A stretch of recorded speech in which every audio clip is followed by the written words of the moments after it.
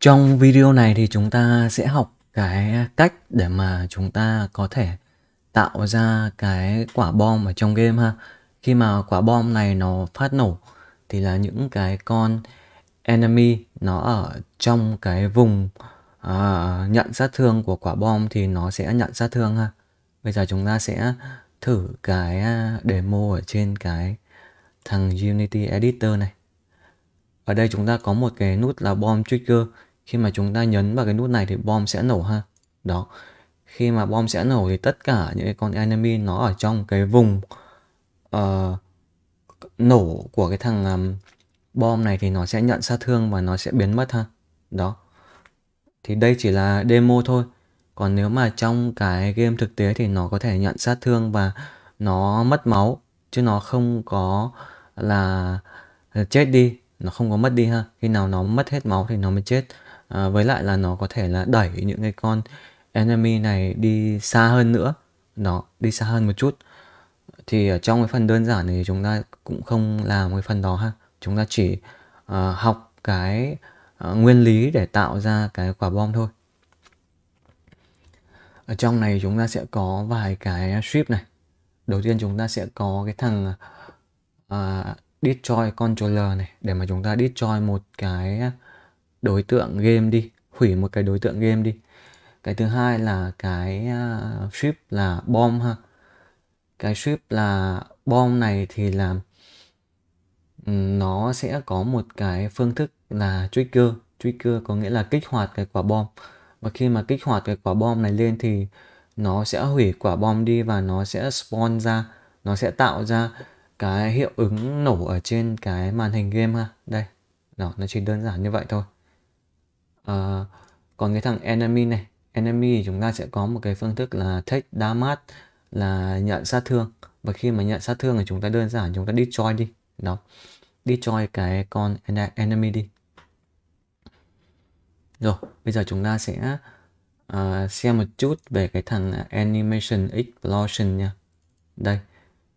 Cái um, animation này thì khi mà cái animation này kết thúc thì chúng ta gọi cái script là destroy trigger ở trong cái thằng destroy controller mà chúng ta đã gán vào ở trên cái thằng game object là explosion vfx đây. Đó đây. Khi mà cái hiệu ứng explosion này kết thúc thì cũng hủy luôn cái uh, đối tượng uh, game explosion vfx ở trên scene đi. Đó và bây giờ chúng ta sẽ quan tâm tới cái thằng ship là explosion cái ship explosion là cái ship mà chính của chúng ta ha. Chúng ta xử lý code ở trong này. Đó. Thì trong cái ship này chúng ta sẽ có hai cái à, biến này. Cái biến đầu tiên là explosion radius, để mà chúng ta xác định cái bán kính của cái vụ nổ, của cái hiệu ứng nổ này ha. Đó cái ship thứ hai là cái dạng layer mask là tracking layer. Là cái vụ nổ này nó sẽ kiểm tra ở trên cái layer nào ở trên game ha? Kiểm tra ở layer nào? Đó. Kiểm tra xem là là à, nó ừ, nó nó ừ, va chạm với lại là cái đối tượng uh, game ở cái layer nào trên cái game của chúng ta ha? Đó. Cái um, trip này thì nó có một cái phương thức là dear damage có nghĩa là gây sát thương ha. Nó gây sát thương. Thì um, cái bước một này chúng ta sử dụng cái um, phương thức uh, overlap circle on của cái lớp uh, uh, physics 2D đó chúng ta sẽ uh, vẽ một cái đường tròn ảo với cái bán kính là, cái bán kính của cái vụ nổ ha. Và chúng ta sẽ kiểm tra cái trồng lớp của cái đường tròn ảo này trên cái layer là tracking layer, đó. Và cứ cái đối tượng nào mà bị trồng lấp bởi cái đường tròn ảo mà chúng ta vẽ ra có cái bán kính là bán kính của vụ nổ này, thì chúng ta sẽ đưa nó vào một cái mảng là file đó, đây và chúng ta lấy ra cái collider 2D ở trong đó. Đó. Rồi khi mà chúng ta tìm được tất cả những cái uh, enemy những cái đối tượng game uh, nằm trong cái bán kính của cái vụ nổ này thì chúng ta sẽ dùng cái vòng lập for để mà chúng ta duyệt tất cả những cái phần tử ở trong cái uh, cái cái mảng uh, file mà chúng ta tìm được đây. Đó. Chúng ta sẽ kiểm tra nếu mà cái file này nó mà rỗng thì chúng ta sẽ uh, chuyển vào sang vòng vòng lặp tiếp theo. Đó. Còn nếu mà nó không rỗng thì chúng ta sẽ lấy ra cái thành phần là enemy. Đó lấy ra cái ship enemy ở trong. Những cái đối tượng game mà chúng ta tìm được ở trong cái bán kính vụ nổ. Đó đây. Và chúng ta sẽ kiểm tra nếu mà cái uh, ship enemy này nó mà không tồn tại thì chúng ta sẽ chuyển sang cái vòng lặp mới. Còn nếu mà nó tồn tại thì chúng ta sẽ gọi cái phương thức là take damage có nghĩa là nhận sát thương ở trong cái ship là enemy. Mà chúng ta tìm được ở trong những cái uh, enemy mà chúng ta đã quét bởi cái đường tròn bán kính vụ nổ trên này. Đấy tìm được ở trong cái bán kính vụ nổ và những cái con enemy này, khi mà được gọi cái phương thức take damage này thì nó sẽ nhận sát thương ha. Đó, đây. Đơn giản là như này thôi. Đó. Rồi ở chỗ này chúng ta sẽ vẽ một cái đường tròn ở trên cái thằng ghi mode để mà chúng ta biết được là cái bán kính vụ nổ của chúng ta là nó ở chỗ nào ha. Đây. Đó. Chúng ta sẽ vào cái thằng editor nhé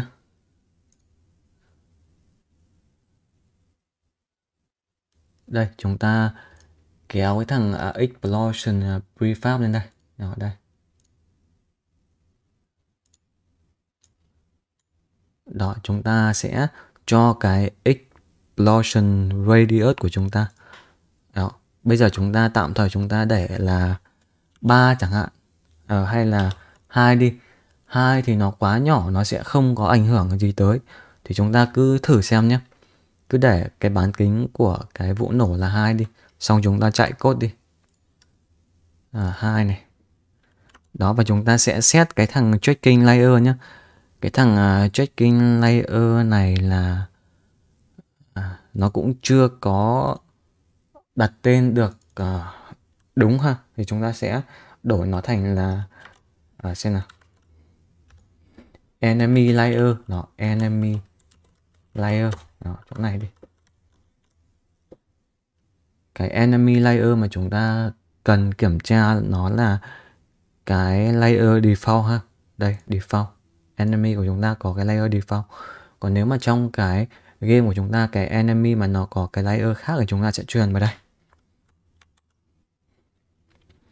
Chúng ta chạy thử này. Trigger này. Đó. Trigger thì nó chỉ mất uh, những cái con enemy ở trong cái bán kính của cái vụ nổ thôi. Còn ngoài vụ nổ ở ngoài cái bán kính của vụ nổ thì sẽ không bị mất ha. Nó không nhận sát thương. À, bây giờ chúng ta sẽ cho cái bán kính của vụ nổ nó to ra. Nó tầm 4 đi. Đó. Chỗ này chúng ta sẽ trigger quả bom lên. Nó trigger. Đó nhận sát thương hết và nó sẽ uh, hủy hết những cái con enemy ở trên cái uh, scene của chúng ta đi. Đó cái bom này thì nó đây nó nó, nó sweep bom đây. Sweep bom thì chúng ta đưa vào đây cái explosion vfx prefab và khi chúng ta nhấn cái trigger này thì nó sẽ spawn ra cái hiệu ứng nổ. Nó nó chỉ đơn giản là như vậy thôi. Nó không có gì uh, phức tạp cả.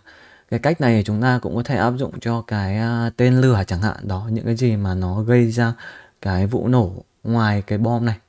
Thì chúng ta cũng có thể áp dụng cái cách này được nó quên chưa nói một cái à, lưu ý đó là trong cái thằng explosion vfx này chúng ta gọi cái phương thức dear damat của cái strip explosion thông qua cái thằng à, animation event. Đây. Khi mà cái um, explosion vfx nó xảy ra cái animation ở giữa giữa một chút thì chúng ta gọi cái sự kiện ở trong này. Đó sự kiện này thì uh, cái explosion nó ờ, nổ ra một chút thì nó mới bắt đầu là gây sát thương cho những cái con enemy như vậy. Nó sẽ thật thật hơn một chút ha. Đó. Và những cái con enemy này chúng ta phải add thêm cái thằng Collider 2D thì là cái phương thức diadamat của chúng ta nó mới hoạt động ha. Còn nếu mà không có cái thằng Collider 2D thì sẽ không có hoạt động được. Đó. Ok, nếu mà bạn thấy video này hay, thấy nó hữu ích thì đừng ngại like hay là chia sẻ để ủng hộ cho team YouTube nha. Rất là hy vọng còn gặp lại bạn trong những video tiếp theo.